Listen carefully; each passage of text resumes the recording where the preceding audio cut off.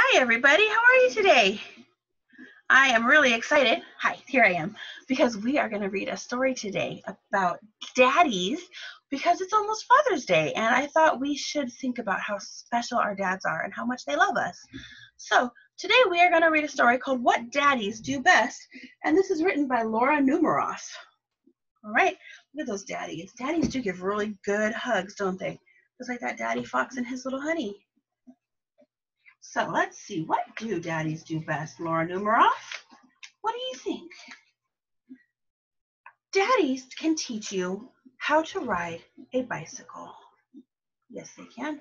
Have you been learning that yet? They make a snowman with you and make a delicious cake for your birthday. Ooh, that is pretty special. Daddies can help you make a garden to grow and give you a piggyback ride. And take care of you when you're sick. Daddies can watch the sunset with you.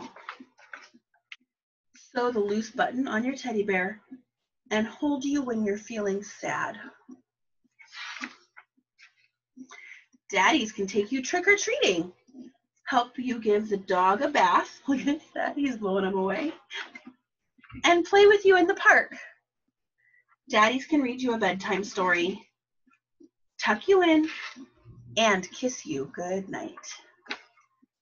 But best of all, daddies can give you lots and lots of love. That is what I think daddies do best. That's what my daddy did best too.